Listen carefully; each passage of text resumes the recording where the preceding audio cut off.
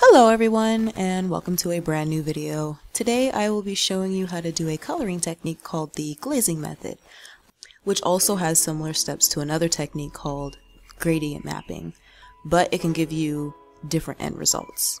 I got this idea from a few artists that use this method in Photoshop and I wanted to see if I could achieve similar if not better results in Clip Studio Paint, which I have and I want to pass on what I've learned to anyone that comes across this video. If you also want to learn the Photoshop version of this technique, links to those videos will be available in the upper right corner and in the description down below. Now let's get into it.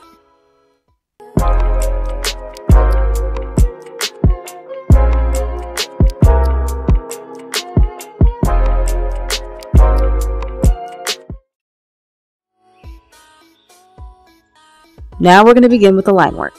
Sometimes I like to take sketches from my sketchbook and ink them, but that's always optional. As you can also see, I expanded the canvas in order to add a little detail to her hair. When it comes to the tools I use for inking, my preference is the figure tool because of how amazing the line weight and end results can be. If you want a more in-depth video about how to use the figure tool, you can always check out my first tutorial, which will be linked down below in the description, and it'll also be linked in the upper right corner of this video. Other than that, you can also freehand your line work while utilizing the stabilization tool. As long as you are comfortable, especially if you don't have a drawing tablet, that is all that matters. So now that our line work is complete, we're going to shift into the base grayscale colors. For this, you're going to want to rely on the value scale, which is one of the most important lessons on the basic fundamentals of art. Well, actually, every part of the basic fundamentals is important, but for this technique in particular, you're going to want to understand the difference between highlights, lowlights, midtones, and shadows. The base color I'll be using is a medium light gray. For the highlights and lowlights, I'll be using pure white and light gray. And for the shadows, I'll be using the darkest gray, but not black. You're also probably wondering, how do I place the shadows and the highlights? There are multiple ways of figuring out how to place your shadows and highlights properly. 1. Seek out a photographic reference with intense lighting that matches what's in your imagination and copy it. 2. Use the light bulb method. You draw a light bulb on a different layer, of course, in a direction that you want your light to hit your subject and do the best you can to guess where the shadows and highlights lie. And number three, if all else fails, be your own reference. Just make sure you use intense lighting in order to achieve the results you want. References are your friend. Use them. Next up is choosing your colors, and we will also be getting into the importance of your layer settings later on in this video. Before we color, you're going to want to merge all the grayscale layers together, which is what I did off camera. Create a new layer with the clip layer button turned on. Then we're going to set the layer to multiply, change the brush colors to red, and we're going to use the bucket tool in order to fill that layer. The reason why we're using red for the underlayer of the skin is because it'll add more life to your character and it won't make the skin look too washed out by the gray undertones. See the difference? This tip can apply for humans, humanoid characters, animals, and anthropomorphic characters considering that they all bleed red. After all that, we're going to make separate layers for the skin, hair, eyes, mouth, dress, and accessories. If you want to make more layers than that, then that's perfectly fine but be sure to label them in order to keep track of what layers you're drawing on. Trust me, your, your save file will love you for this. You can rename your layer by double clicking the layer name, which should highlight the original name in blue, and then that should allow you to enter any layer name you want to. The color scheme I chose to go with will be presented on the screen along with the layer settings. Go ahead and pause the video if you need more time to read through. Now, why is changing your layer settings so important?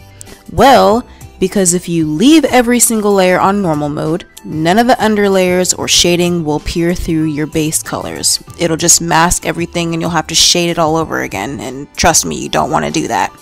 So don't be shy when it comes to experimenting with various layer settings. You'll get some pretty interesting results. last but certainly not least is the final touches. If you don't feel like going any further, then you can always stop on the previous step. However, I think this portrait can use a little bit more flair. So I decided to merge the color layers together, create four more layers, two set on multiply mode and two set on color dodge mode, and proceeded to add more shading to the iris of her eyes, more shading to her hair, and underarms, while also adding highlights to her hair, earring, skin, and her eyes to make her look more lively. You can even go further than that once you've added more definition to your character by merging the color layers and line art all together, duplicate that layer, and set the original layer's opacity to 50%. And after you're done setting the opacity, you're wanna you're gonna want to go back to the duplicate layer because this is where all your edits are gonna happen. So after that, you're gonna want to go to Edit, go down to Tonal Correction, and click color balance or tone curve to color correct that layer and only that layer. After you're done adjusting, go to filter, then blur, then select Gaussian blur in order to soften the piece a little more. This will make it, you know, have that anime effect. If you so want an anime effect on your piece. And once you're all complete, with uh, editing your character and everything like that, making it soft, making it more anime style or whatnot. Uh, the background is pretty much fair game. So you can do whatever you want with the background. I chose to do a circle. You can go ahead and do a square if you want to. Triangle, I don't care.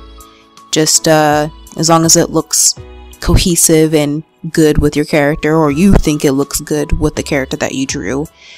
And that's all the steps in order to achieve the glazing method in Clip Studio Paint. I hope this was helpful and easy to understand.